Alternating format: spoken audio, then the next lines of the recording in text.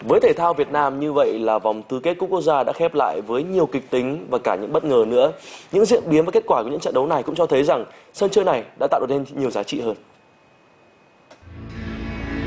Trận đấu được nhận định là cân tài cân sức nhất tại tứ kết quốc gia là cuộc đọ sức giữa Viettel và Thép Xanh Nam Định. Sau chiến thắng cảm xúc trước câu lạc bộ Công an Hà Nội, người hâm mộ Nam Định kỳ vọng đội nhà sẽ tiếp tục có thêm một trận đấu hay trước Viettel. Dẫu vậy, thầy trò huấn viên Vũ Hồng Việt lại gây thất vọng khi để thua khá dễ dàng. Chúng tôi truyền bóng hỏng rất là nhiều.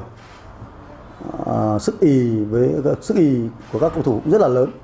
Tôi nghĩ là chắc là do chúng tôi được nghỉ ít hơn Viettel.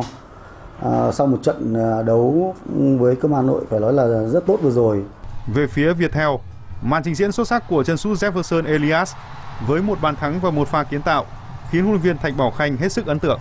Ở Văn Sơn thì mới trở lại sau chấn thương. Tôi muốn uh, cậu ấy nhập cuộc uh, từ từ Đấy, vào hiệp 2 để cậu lấy lại cảm giác và lấy lại cái sự tự tin. Thì sau khi bạn ấy lấy được lại cái sự tự tin và có uh, thêm cái cái thể lực là lấy lại được thể lực thì tôi sẽ sử dụng các bạn ấy. Với việc lọt vào bán kết cúp quốc gia, Viettel đứng trước cơ hội đoạt cú đúp danh hiệu mùa này. Khi ở V-League, họ hiện chỉ còn kém đội đầu bảng Công an Hà Nội 3 điểm.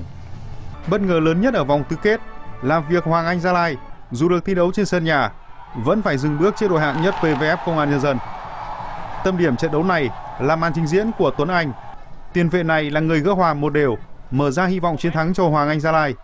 Nhưng cũng chính anh là người đã dập tắt hy vọng đó khi là một trong hai cầu thủ sút hỏng luân lưu, khiến Hoàng Anh Gia Lai thua trận.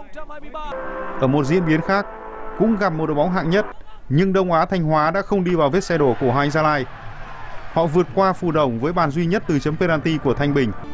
Còn Topland Bình Định đã chứng tỏ được sức mạnh trước Hồng Lĩnh Hà Tĩnh, dù tỷ số 2-1 chưa phản ánh hết diễn biến của trận đấu này.